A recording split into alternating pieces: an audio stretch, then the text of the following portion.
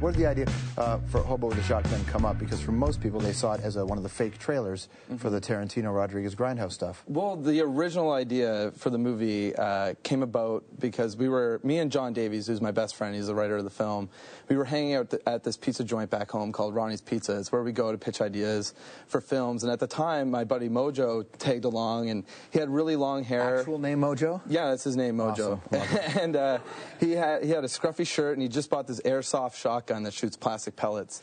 And me and John are just pitching ideas back and forth, and Mojo speaks up and says, well, "Why don't you guys make a movie about me?" And John kind of looks over and looks him up and down and says, "What? A, a hobo with a shotgun?" and it was like a light bulb went off. We we're like, "Whoa!" So the day we heard about that contest, we went out and we started shooting that very night. We didn't use any of the footage, but it just got the ball rolling because we only had five. We had two weeks to shoot it, cut it, and then get it sent in.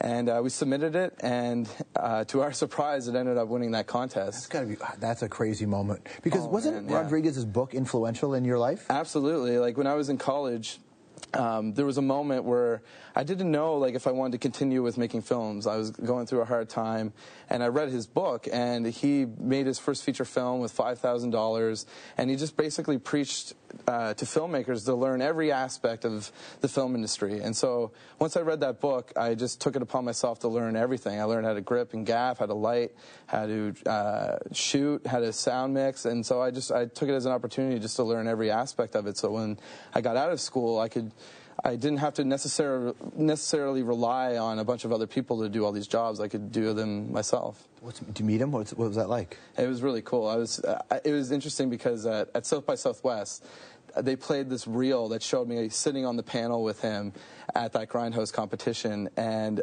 uh, I had never seen the footage uh, from it before, and I just looked like a nervous wreck. I was such a fanboy.